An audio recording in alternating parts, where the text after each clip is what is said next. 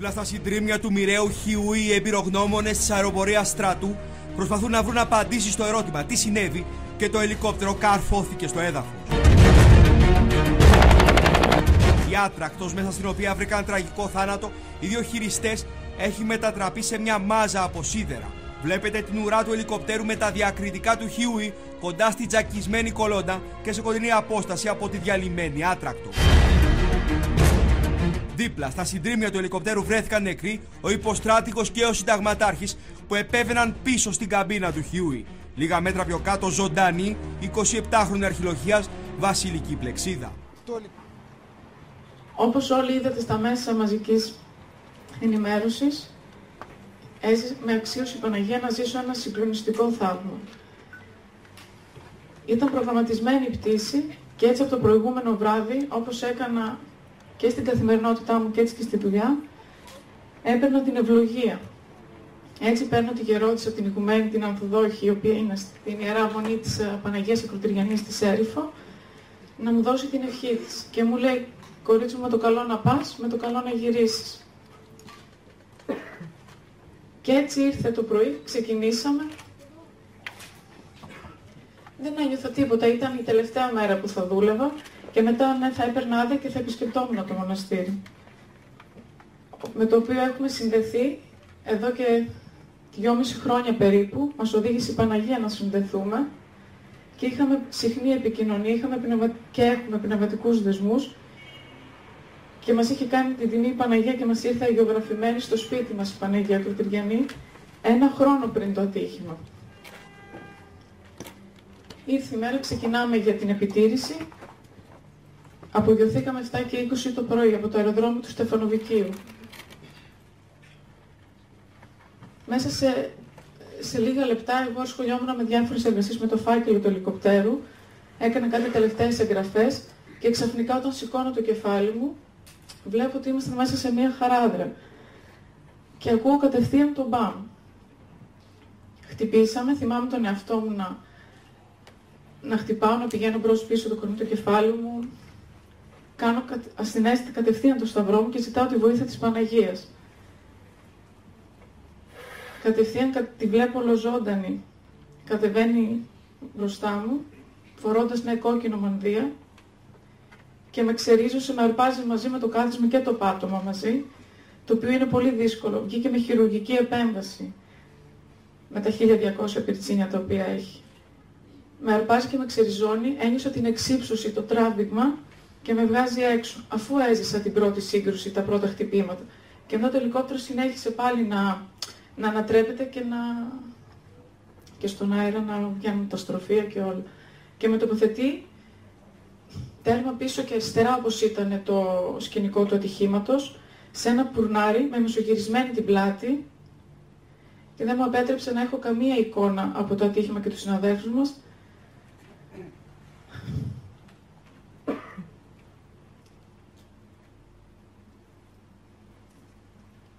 Με μεσογυρισμένη την πλάτη στο πουρνάρι και μετά το ελικόπτερο συνέχιζε να ανατρέπεται και από ό,τι μάθαμε η Παναγία οδήγησε το ελικόπτερο να πέσει πάνω στην κεντρική κολόνα της ΔΕΗ, κόβοντας την φέτες και το καλώδιο όμως η Παναγία δεν επέτρεψε από την κολόνα της ΔΕΗ να πέσει κάτω και όπως και πήγαμε όταν έγιναν τα αποκαλυπτήρια του μνημείου, στεκόταν κατά θαυμαστό τρόπο σαν να το κρατούσε ένα ώρα το χέρι προς τα πάνω, το οποίο δεν εξηγείται, γιατί άμα ακουμπούσε το καλώδιο κάτω, όλο το βουνό ήταν ποτισμένο με καύσιμο, θα έπαιρνε φωτιά.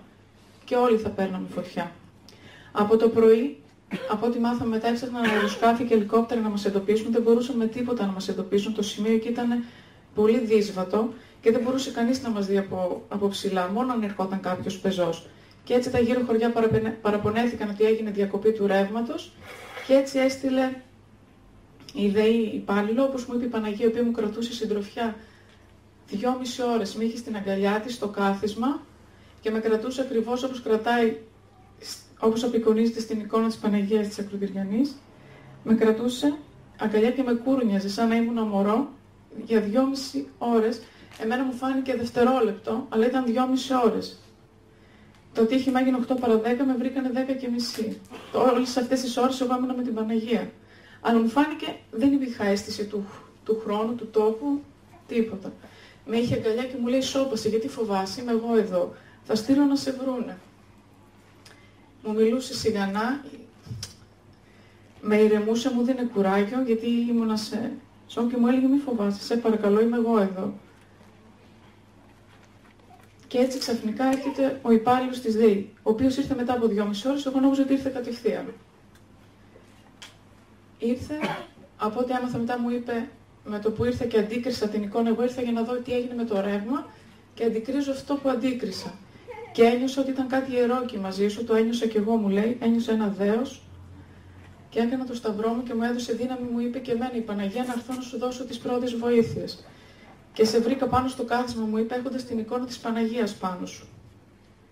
Το κάθε ελικόπτερο έχει μια εικόνα της Παναγίας μπροστά στο ταμπλό στα όργανα. Όλα τα πράγματα, οτιδήποτε και βρέθηκε, είχαν βρεθεί μπροστά και δεξιά όπως από τους νόμους της φυσικής ήταν όλα δεξιά. Εγώ όπως βρέθηκα εκεί δεν μπορεί να εξηγήσει κανένας. Ε, και βρέθηκα με τα πράγματά μου μάλιστα, το ένα δίπλα στο άλλο με μαθηματική ακρίβεια. Και όλα τα πράγματα του ελικοπτέρου ήταν μπροστά και δεξιά, μόνο η εικόνα της Παναγίας ήρθε πάνω μου. Τα κινητά μας χτυπούσαν ολονών και τον πέντε, ώσπου χτύπησε και το, ξανά και το δικό μου το σήκωσε ο υπάλληλος της ΔΕΗ, έδωσε το σήμα στο αρχηγείο και ήρθε το Super Puma να με διασώσει. Και πήγαμε στη Θεσσαλονίκη στο 424, νοσηλεύτηκα, στο στρατιωτικό νοσοκομείο. Μου είπαν οι διασώστες στο Super Puma, εγώ δεν θυμάμαι, ότι ήμουν τόσο ήρεμη, γαλήνια, είχα τις αισθήσεις μου, γιατί ό,τι με ρωτούσαν τους απαντούσα ακριβώς όπως είχαν τα πράγματα. Με βάλανε στο φορείο να μου πάνε να μου κάνουν εξετάσεις και μου λέει ένας γιατρός μετά αφού συνήλθα. Τι τράβηξα με σένα λέει την πρώτη μέρα. Πήγαμε να σου βγάλω, σου τραβούσα το σταυρό σου, το ξύλινο από το λαιμό να στο βγάλω για να σου κάνουμε τη μαγνητική και σηκώθηκες από το κρεβάτι ξαφνικά και με άρπαξες από το λαιμό λέει. Εγώ δεν το θυμάμαι, μου το, για να μου το είπε ο γιατρός έτσι έγινε. Μου κάνανε εξετάσεις, μαζεύτηκαν 15 ειδικότητες γιατρών, δεν πίστευαν στα μάτια τους. Βέβαια όπως γράφει και ο ιατρικός μου φάκελος, τα χτυπήματά μου ήταν πολύ σοβαρά και ήταν κρίσιμα για τη μετέπειτα ζωή μου.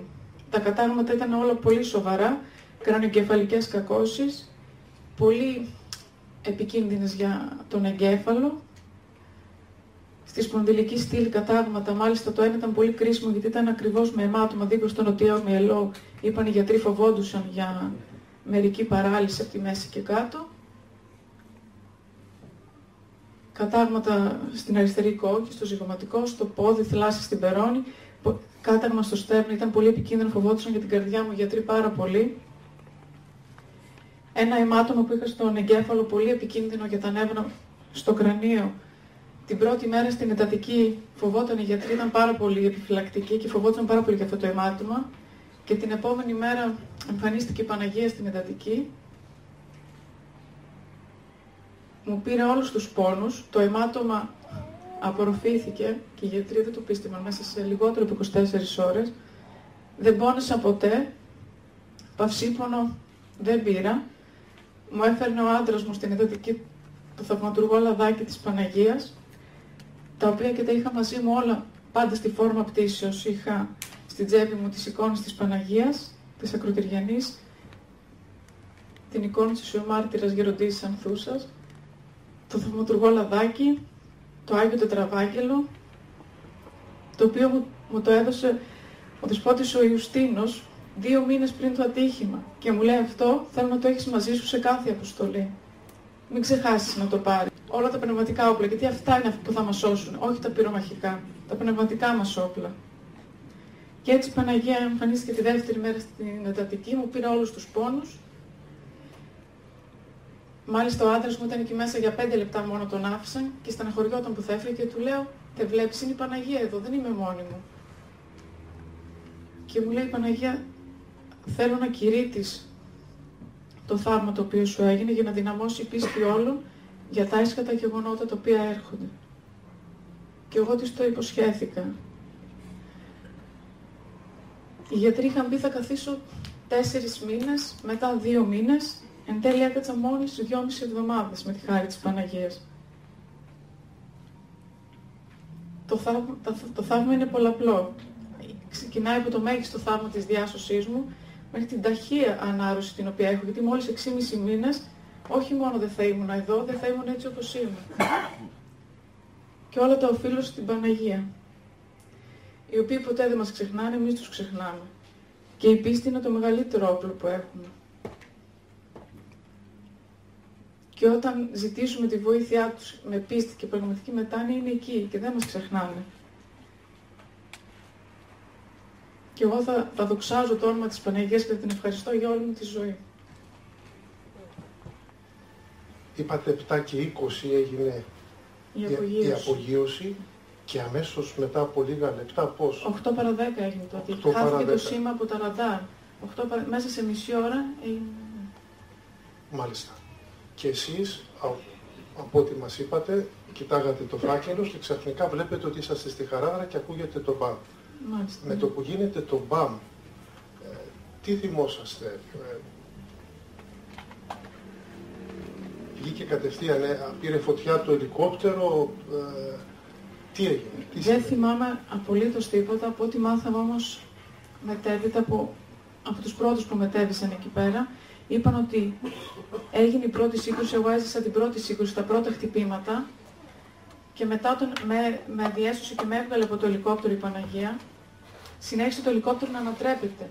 Βγήκε η ουράστροφη, γι' αυτό χτύπησαν πάνω στην κολόνα της ΔΕΗ έγινε μία μάζα μετά. Άρχισαν να πεταγόντουσαν τα πτώματα των συναδέλφων μου. Τα οποία Τραύσματα. Όχι, δεν με επέτρεψε η Παναγία να δω. Μάλιστα. Άλλο ένα ερώτημα να κάνω και σίγουρα μπορεί να θέλουν και τα παιδιά οι πατέρες. Τα συναισθήματά σας, όχι εκείνη τη στιγμή, μετά από όλο το γεγονός, γιατί εκείνη τη στιγμή ίσως και εσείς να μην καταλαβαίνατε να μην είχατε καταλάβει το τι σας συμβαίνει. Ίσως λέω. Ίσως. Τα συναισθήματά σας θέλουμε να ακούσουμε. Τα συναισθήματά μου όπως μου είπαν και εγώ τα θυμάμαι και τα ένιωθα και τα νιώθω και τώρα και όπως μου είπαν και οι γιατροί που ήταν οι πρώτοι που με παραλάβανε μου είπαν ότι με διακατήχε μια γαλήνη, μια ηρεμία πραγματικά μου έδωσε τόσο θάρρος, κουράγιο και υπομονή να αντέξω όλα αυτά που πέρασα, γιατί χωρίς τη φώτιση και τη χάρη της Παναγίας δεν θα, δεν θα μπορούσα. Θα παραπονιόμουν, θα δυσανασχετούσα. Νιώθω μια γαλήνη, μια ηρεμία, μια πρώτη. Ότι όλα καθοδηγούνται από την Παναγία, τα έχω αφήσει στο χέρι της όλα και έχω μια σιγουριά. Δεν, πλέον, επειδή ήμουν, πλέον δεν έχω άγχος, δεν έχω ανησυχία, με τη δύναμη του Θεού πάντα. Ότι όλα θα περάσουν, μια, μια δοκιμασία είναι και αυτή. Δεν τις ανασχέτησα στο νοσοκομείο, χάρη στην Παναγία. Ήμουν ήρεμη, νιώθω γαλήνια, ήρεμη, ηρεμία. Και πραγματικά μεγάλη ευλογία που με αξίωσε η Παναγία να είμαι στην, να με έχει στην αγκαλιά της τόσο πολύ ώρα, δυόμιση ώρες, βέβαια εγώ ένιωσα αυτό που σας είπα, ένα δευτερόλεπτο και που με είχε στην αγκαλιά της και άκουγα τη φωνή της και που την έβλεπα κανονικά, μορφή ζωντανή, με το ένα φως, με μια λάμψη στο πρόσωπο, ολοζώντανη. Δεν θα το ξεχάσω ποτέ.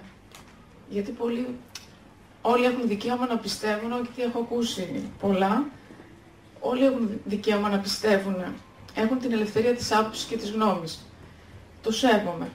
Αλλά να σεβαστούν και εκείνοι εμένα και ότι δεν, δεν πρόκειται ποτέ κανένας να αναιρέσει αυτό που έζησα. Κανείς. Και επίσης ε, μάθαμε πρόσφατα μαρτυρία γιατρού, μου είπε ότι με το που με παρέλαβε στο 424 στο Ιδιωτικό Νοσοκομείο στη Θεσσαλονίκη, ότι ε, το σώμα μου ευωδίαζε Άγιο Μύρο.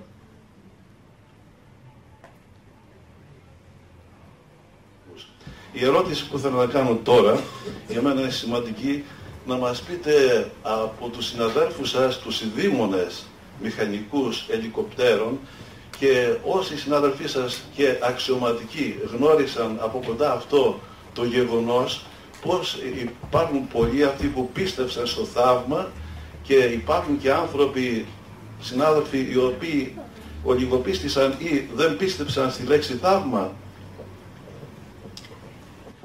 Δεν μπορούσαν να, δεν μπορούσαν να δώσουν άλλη εξήγηση. Αυτό, κατά την πνεύμα μου άποψη, θέλησε και η Παναγία να μην μπορέσει να δοθεί καμία άλλη εξήγηση, έτσι όπως έγιναν όλα στα σχέδια του Θεού.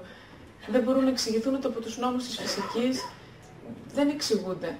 Έτσι και οι επιτροπές που έκαναν διερεύνηση του ατυχήματος δεν, δεν εξηγούνται. Είπανε θαύμα, δεν μπορούν να πούν κάτι άλλο, έτσι όπως έγιναν. Δεν εξηγείται αλλιώς. Δεν, δεν έχει υπάρξει ε, του συγκεκριμένου τύπου ελικοπτέρου του Χιούι να πέσει στη στεριά και να μην πάρει φωτιά αρχικά, όχι μόνο από το καλό της δεν επέτρεψε η Παναγία να πέσει κάτω που ήταν ποτισμένο όλο με το καύσιμο, ακόμα και από τους πινθύρες του κινητήρα.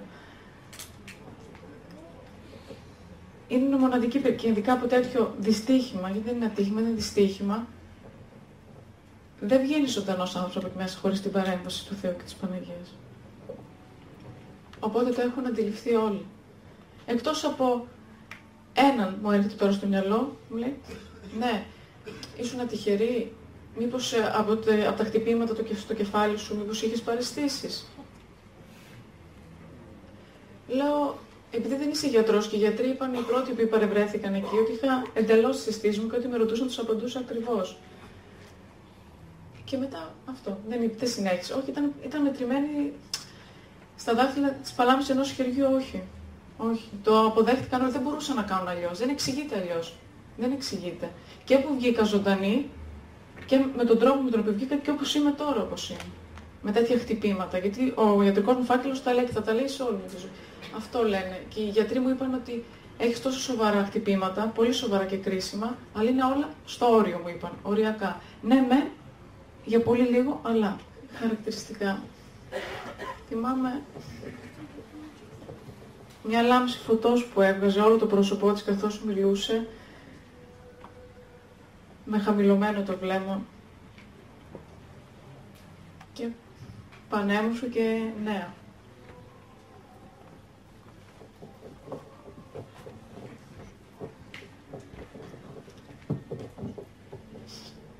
Η ερώτηση που θέλω να κάνω εγώ είναι ότι ε, το κάθισμα στο οποίο βρισκόσασταν όταν σας παρέλαβαν από το... οι γιατροί, ε, δεν είχε κοπεί από το πάτωμα. Ήταν μαζί με το πάτωμα, έτσι δεν μαζί με, Ακόμα και τώρα, μαζί με το πάτωμα είναι. Είναι, ε, τα πρετσίνια βρίσκονται πάνω ή έχουν εξαφανιστεί τελείως και αυτά; Είναι... Αν έχετε, έχετε παρατηρήσει είναι... κάτι, επειδή έχω εργαστεί πάνω σε αυτό, ναι. δηλαδή στα... Είναι πάνω συγκεκριμένα. Ναι. Τι γίνεται, Η Παναγιώτα με χειρουργική επέμβαση. Σαν ναι. Ε, κάποιος εκεί ασχολήθηκε 1200 πεζίματα ένα-ένα. Αυτό απλά ήθελα να το διευκρινίσω. Να τα ακούσουν και οι υπόλοιποι δηλαδή αυτό το πράγμα. Έτσι. Ε, Βασιλική, θα ήθελα να μας πεις και κάτι που ίσως διέφυγε.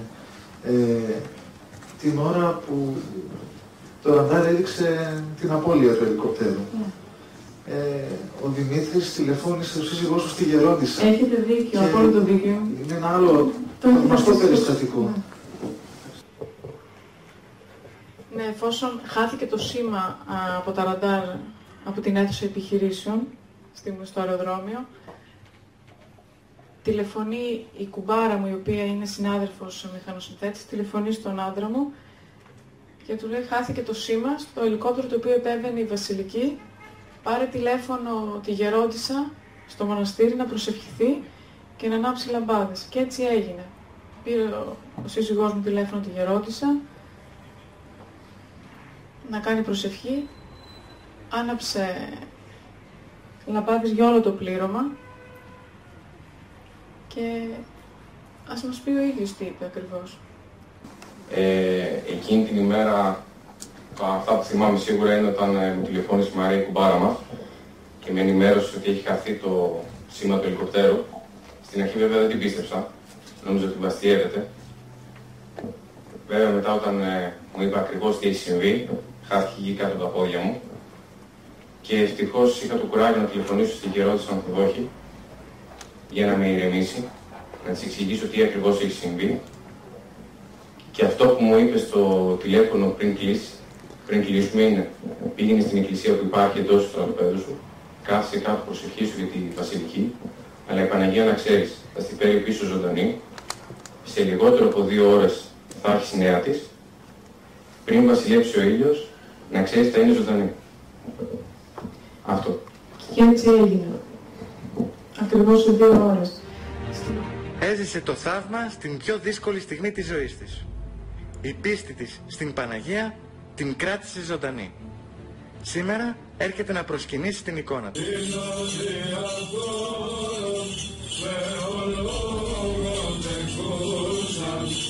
Με το που αντιλήφθηκα το πρώτο χτύπημα, ασυναίσθητα κατευθείαν έκανα το σταυρό μου και ζήτησε την Παναγία να με βοηθήσει.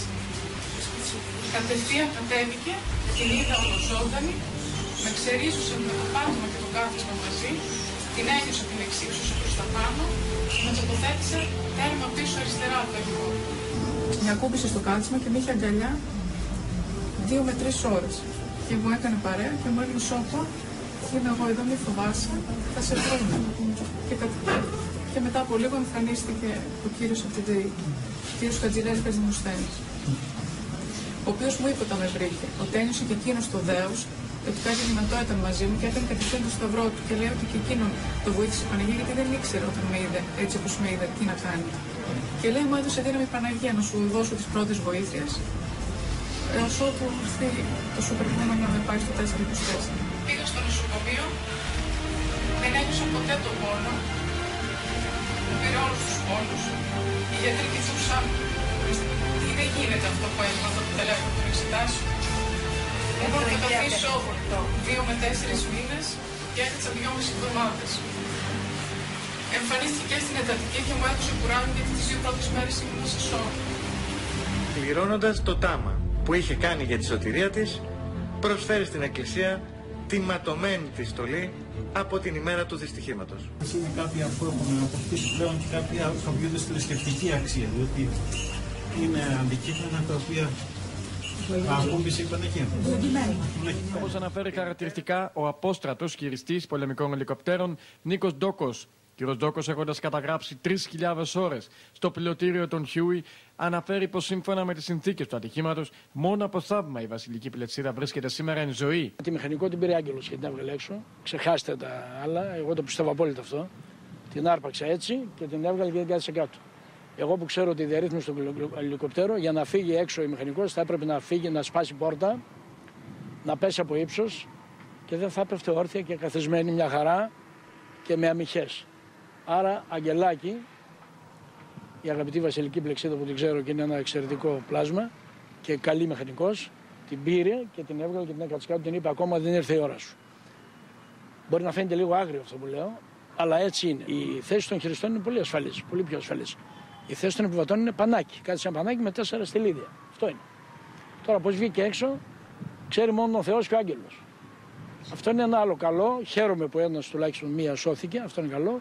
Αλλά οι λαϊκισμοί του τύπου είχε εκτινασόμενο κάθισμα που άκουσα και έχω τρελαθεί εντελώς. Δεν ξέρω τι. Ό,τι θέλει ο Τη καθένας. βασιλική πλεξίδα, την αρχιλοχία που βγήκε ζωντανή από τα συντρίμια. Ευχαριστώ την Παναγία που με αξίωσε σήμερα να έρθω να την τιμήσω και να την ευχαριστήσω ένα χρόνο μετά που μου χάρισε τη ζωή και εύχομαι να έχει υπό τη σκέπη της τους ήρωες συναδέλφους μου οι οποίοι θα είναι αθάνατοι για πάντα στις καρδιές μας. Στο σημείο όπου βρέθηκε σε κατάσταση σοκ από τους διασώστες η ίδια έστησε μια εικόνα της Παναγιάς που την κράτησε στην ζωή όπως λέει. Μέγιστο θαύμα, πολλαπλό. Από τη διάσωσή μου μέχρι την όχι γρήγορα ταχύτατη ανάρρωσή μου. Τι θα λέγατε σήμερα στους συναδέλφους σας, ανθρώπους που κάνουν Να μην, επικίνδυνη να μην δουλειά; χάνουν την πίστη τους. Είναι το μεγαλύτερο όπλο που έχουμε. Το σταυρό μας και προχωράμε.